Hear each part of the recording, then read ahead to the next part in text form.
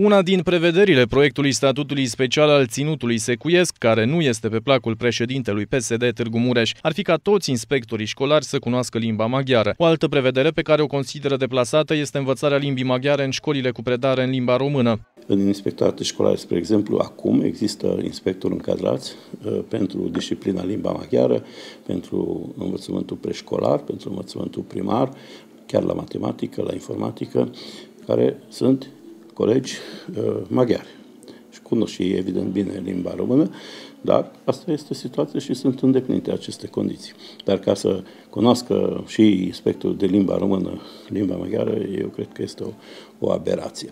O prevedere care se referă la uh, învățarea limbii maghiare în obligatoriu în școală, într-un eventual, să zic, într-o organizare de asta de tip ținut secuiesc, este de asemenea o chestiune deplasată.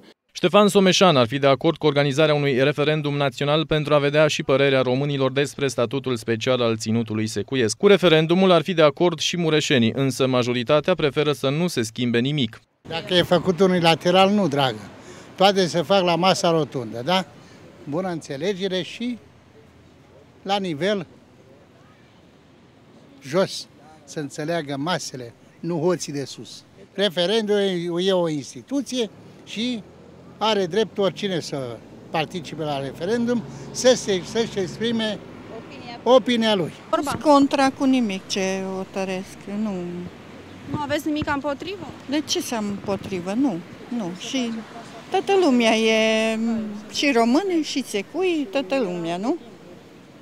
Așa că, cum hotăresc cei de sus? Noi, mici muncitori, ce putem face? doresc să fie așa cum a fost și până acum, că nu avem nimic unii cu alții. Să rămână așa, de ce trebuie să fim în toate direcțiile?